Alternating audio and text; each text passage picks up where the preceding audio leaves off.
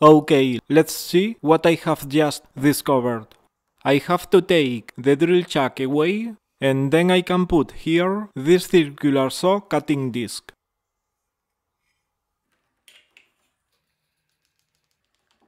But what I discovered when assembling the pieces of the cutting disc is that the disc should be perfectly perpendicular to the axis.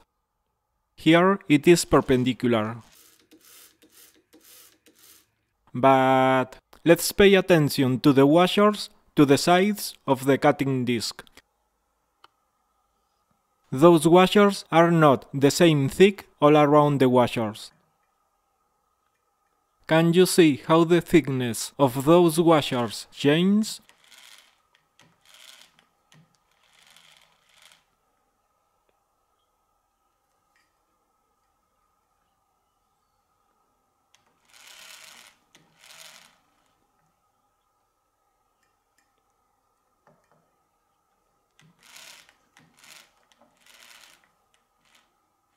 Okay, here we can see that red mark. And it is in the zero position, so the disk is perpendicular to the axis. Now I move the mark away from the zero position.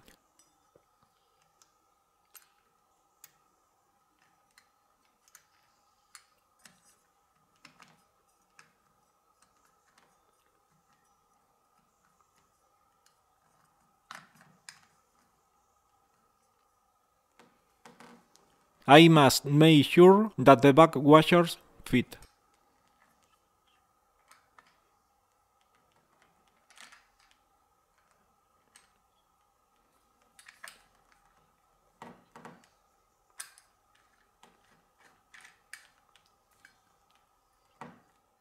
Okay, here we can see the zero position.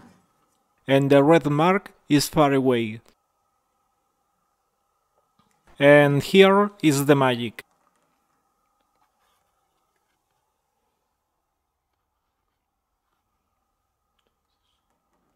The disc now tilts to the right.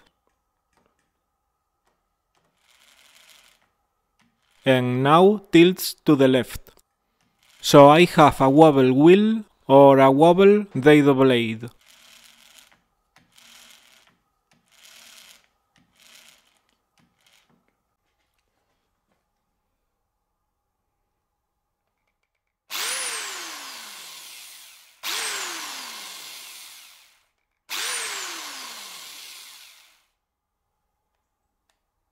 So here we have the zero position.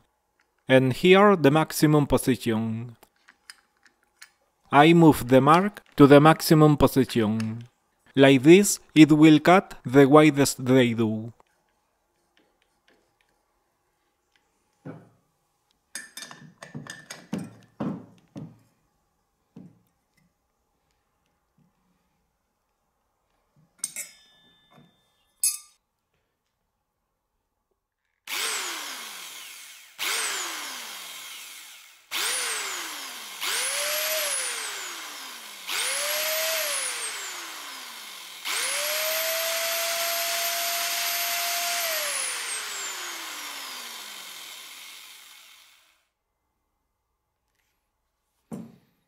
Here we can see it mounted in the vintage drill-powered table saw.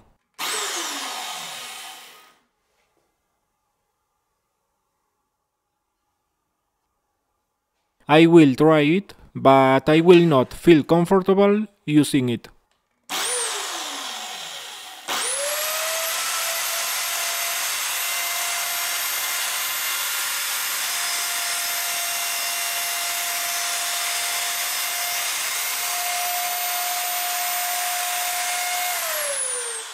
I wonder if this can cause more kickback than an usual disc or an straight dado set.